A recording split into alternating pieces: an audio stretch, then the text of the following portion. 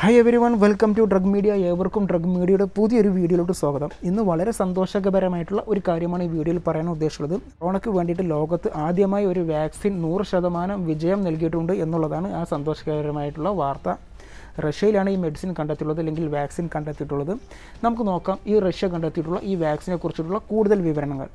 ലോകത്ത് ഏകദേശം ഇപ്പോൾ തന്നെ ഒന്നേകാൽ കോടിയോളം കോവിഡ് രോഗികളാണ് പല ഭാഗങ്ങളിലായിട്ടും ഉള്ളത്. ഏകദേശം ആറ് ലക്ഷത്തോളം ജനങ്ങൾ ഇപ്പോൾ മരണപ്പെട്ട് കഴിയുകയും ചെയ്തിട്ടുണ്ട്. ഈ ഒരു സാഹചര്യത്തിലാണ് ഞാൻ ഇപ്പോൾ കടന്നു പോകുന്നത്. അപ്പോഴാണ് റഷ്യയിൽ നിന്നും വളരെ ശുഭകരമായിട്ടുള്ള ഒരു വാർത്ത ഇപ്പോൾ വന്നുകൊണ്ടിരിക്കുന്നത്.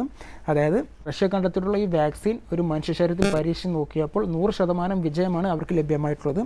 മുമ്പ് റഷ്യ എബോളക്ക് വേണ്ടിയിട്ടും അതുപോലെ തന്നെ മാർസിന് വേണ്ടിയിട്ടും പരീക്ഷിച്ച അതേ ലാബിൽ തന്നെയാണ് ഈ വാക്സിനും അവർ പരീക്ഷിച്ച് വികസിപ്പിച്ചെടുത്തിട്ടുള്ളത് ലോകത്ത് ആദ്യമായി ഒരു കോവിഡിനായി നിർമ്മിച്ചിട്ടുള്ള വാക്സിൻ ക്ലിനിക്കൽ ട്രയൽ ഒരു മനുഷ്യരത്തിൽ പരീക്ഷിച്ചപ്പോഴാണ് ഈ വാക്സിൻ നൂറ് ശതമാനം വിജയം നൽകിയിട്ടുള്ളത്.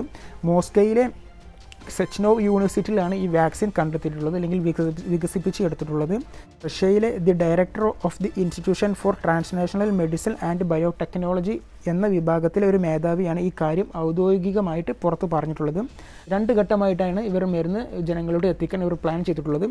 ആദ്യഘട്ടമായി ജൂലൈ പതിനഞ്ചാം തീയതിയും രണ്ടാം ഘട്ടമായി ജൂലൈ ഇരുപതിനും വേണ്ടിയിട്ടാണ് ഇവർ റഷ്യയിലെ ജനങ്ങൾക്ക് വേണ്ടിയിട്ട് ഈ വാക്സിൻ നൽകാൻ തീരുമാനിച്ചിട്ടുള്ളത്. ഗവൺമെന്റ് മുഖേന തന്നെയാണ് ഈ മെഡിസിൻ അവർ നൽകാൻ തീരുമാനിച്ചിട്ടുള്ളത്. സെച്നോവ് യൂണിവേഴ്സിറ്റിന്റെ മേധാവിയായിട്ടുള്ള അലക്സാണ്ടർ ലൂക്കോഷേവ്. അദ്ദേഹം പറഞ്ഞിട്ടുള്ള മറ്റൊരു കാര്യം എന്താണെന്ന് പറഞ്ഞു കഴിഞ്ഞാൽ ഈ വാക്സിൻ മനുഷ്യ ശരീരത്തിന് വളരെ സേഫ്റ്റി ആയിട്ട് ഉപയോഗിക്കാം എന്നുള്ളതാണ്.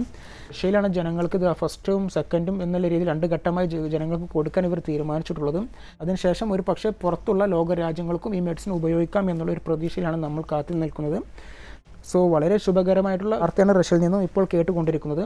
എനിവേ ഈ വാക്സിൻ ജനങ്ങൾക്ക് ഉപകാരപ്പെടട്ടെ എന്ന് നമുക്ക് പ്രത്യാക്ഷിക്കാം താങ്ക്